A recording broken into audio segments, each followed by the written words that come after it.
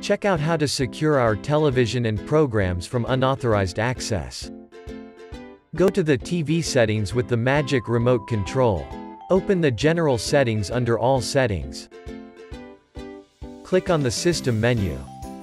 You can see the safety option here. Turn on the safety, and the TV will request to set a password to enable the function.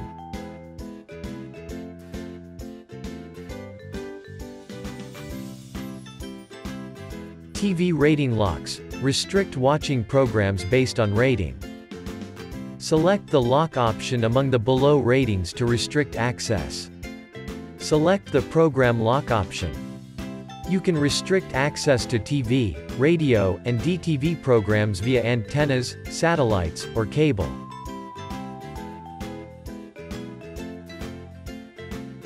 You can lock any TV application from here.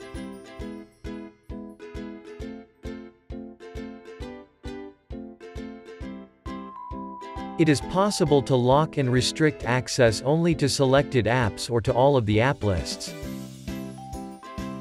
We can restrict access to TV inputs here.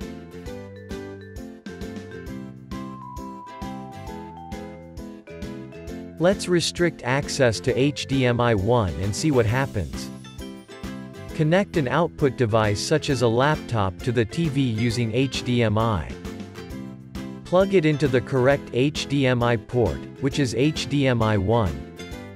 Connect the other end of the HDMI cable to the laptop's HDMI port. Navigate to HDMI 1 now.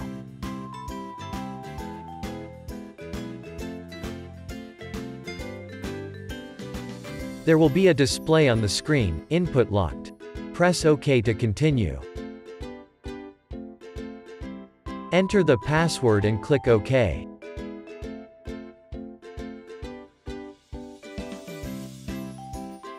The TV will display your input immediately. You can update your password by clicking on Reset Password. First, enter your existing password. Set up a new password and confirm it again.